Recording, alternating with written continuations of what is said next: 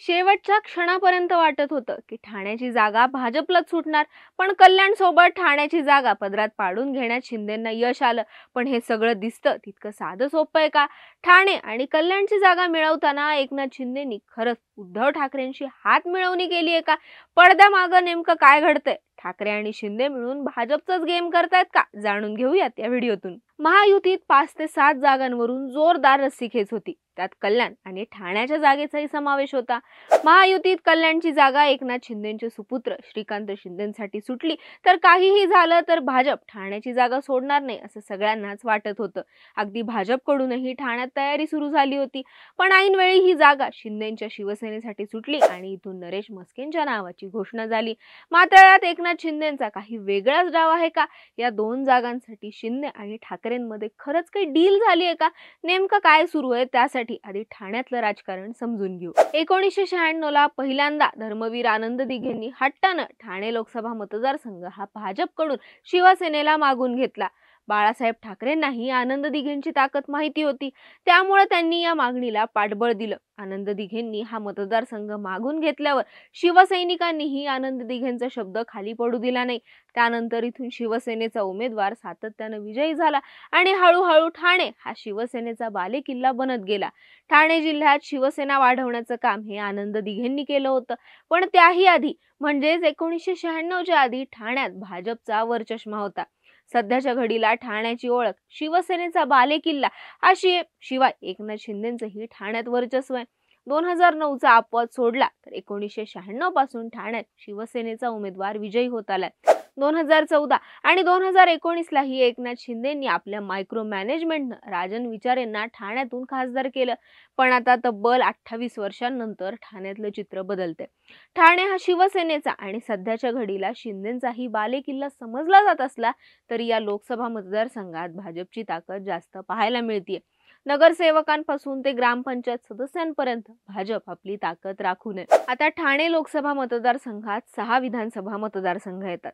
यापैकी ठाण्यात संजय केळकर ऐरोलीत गणेश नाईक आणि बेलापूरमध्ये मंदा म्हात्रे हे तर भाजपचेच आमदार आहेत. तर मीरा भाईंदर विधानसभा मतदारसंघात गीता जैन या अपक्ष आमदार आहेत. आता गीता जैन या अपक्ष निवडून आल्या असल्या तरी त्यांचं मूळ हे भाजपचे आता उरलेल्या दोन म्हणजेच कोपरी पाच पाखाडीतून मुख्यमंत्री एकनाथ शिंदे आमदार आहेत. तर ओळ्या माजीवाडातून शिंदे गटाचे प्रताप सरनाईक हे आमदार आहेत. आता प्रताप सरनाईक हे सध्या शिंदे गटात आहेत. मात्र त्यांची भाजपशी जी जवळीक आहे ती अगदी उघड आहे. त्यामुळे ठाणे लोकसभा मतदारसंघात सध्या भाजपची ताकद जास्त असल्याचं पाहायला मिळते आणि म्हणूनच भाजप या मतदारसंघासाठी आग्रही होतं. ठाण्यात भाजपकडून माजी खासदार आणि भाजपचे इच्छुक उमेदवार संजीव नाईक यांनी प्रचाराचं नारळ फोडल्याचं पाहायला मिळालं होतं. कारण नाईकांनी आपल्या वाढदिवसानिमित्तानं कार्य करताना केवळ सेवाभावी आणि विधायक उपक्रमांच्या माध्यमातून वाढदिवस साजरा करण्याच्या सूचना दिल्या होत्या. त्यामुळे संजीव नाईक यांनी आपल्या वाढदिवसाचं औचित्य साधून मतपेरणीला सुरुवात केली असल्याच्या चर्चा सुरू झाल्या होत्या. नाईकांची उमेदवारी निश्चित मानली जात असताना ठाण्याची जागा शिंदे गटासाठी सुटली आणि एकनाथ शिंदेंनी इथून नरेश म्हस्के यांना उमेदवारी जाहीर केली. पण यानंतर भाजप पदाधिकाऱ्यांमध्ये मात्र कमालीची नाराजी पाहायला मिळाली.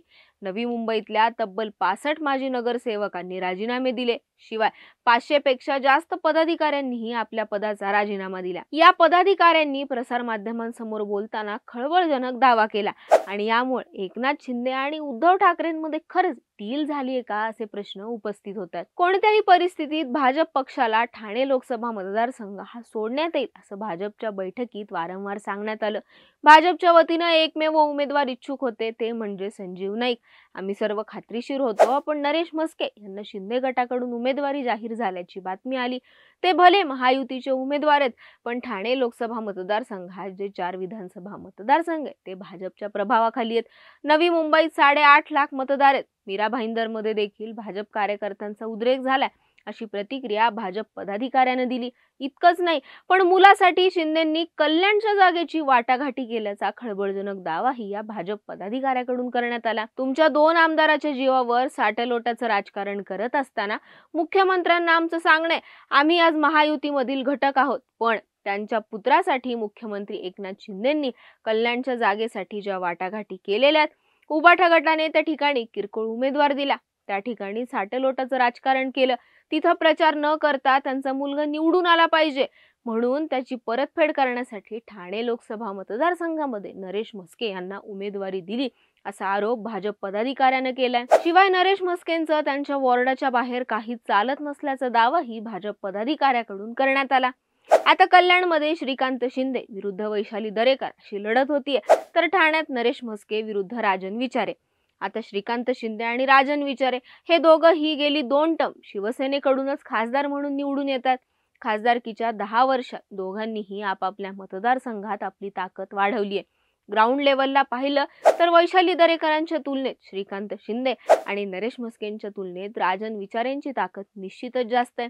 भाजप पदाधिकाऱ्यांच्या आरोपांचा गांभीर्यानं विचार केला तर कल्याणमध्ये त्या मानानं ठाकरेंनी किरकोळ उमेदवार दिला आणि तसंच काही शिंदेनी ठाण्यात केलंय का असा प्रश्न उपस्थित होतो शिवसेनेतल्या बंडानंतर उद्धव ठाकरे आणि एकनाथ शिंदे हे कायम एकमेकांच्या विरोधातच बोलत आलेत. त्यामुळे भाजप पदाधिकाऱ्यांच्या आरोपांमध्ये किती तथ्य हे तर येणारी वेळच कळवेल. पण याबद्दल तुम्हाला काय वाटतं ते आम्हाला कमेंट बॉक्समध्ये आवर्जून कळवा.